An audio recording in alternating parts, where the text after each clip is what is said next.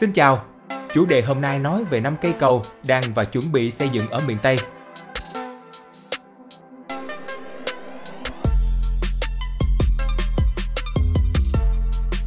Tháng 3 năm 2022, tại phường Vĩnh Mỹ, thành phố Châu Đốc, Ủy ban Nhân dân tỉnh An Giang tổ chức lễ khởi công xây dựng cầu Châu Đốc, thuộc dự án xây dựng tuyến đường liên kết vùng, đoạn từ thị xã Tân Châu đến thành phố Châu Đốc, kết nối với tỉnh Kiên Giang và Đồng Tháp.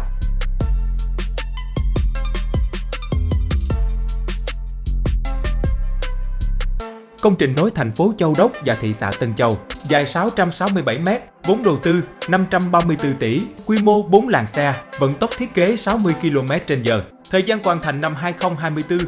Cầu hoàn thành giúp rút ngắn thời gian đi lại giữa hai bờ còn 5 phút so với 30 phút khi đi phà.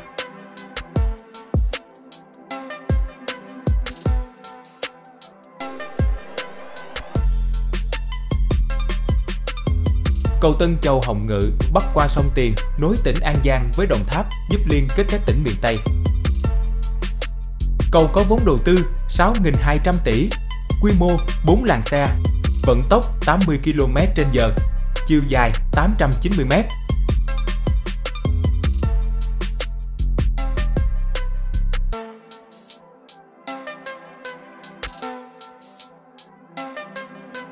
Cầu Vàm Nao bắc qua sông Vàm Nao, nối quyện chợ mới và Phú Tân của tỉnh An Giang. Cầu có vốn đầu tư 2.950 tỷ, quy mô 4 làn xe, vận tốc 60 km/h, chiều dài 400 m.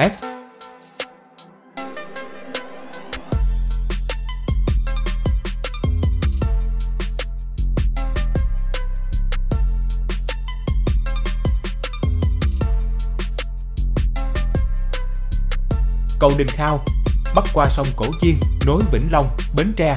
Khi cầu hoàn thành tạo động lực phát triển kinh tế, xã hội trong vùng, cầu có vốn đầu tư 1.300 tỷ, quy mô 4 làn xe, vận tốc 80 km/h, chiều dài 1.500 m. Thời gian dự kiến thực hiện dự án giai đoạn từ 2022-2025.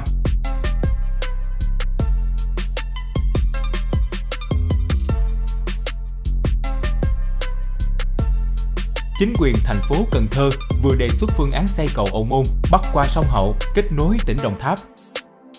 Dự án có vốn đầu tư 7.000 tỷ, tổng chiều dài 70 km, giai đoạn thực hiện đến 2030. Cảm ơn bạn đã xem, nhớ đăng ký kênh để xem những thông tin bổ ích tiếp theo. Xin cảm ơn.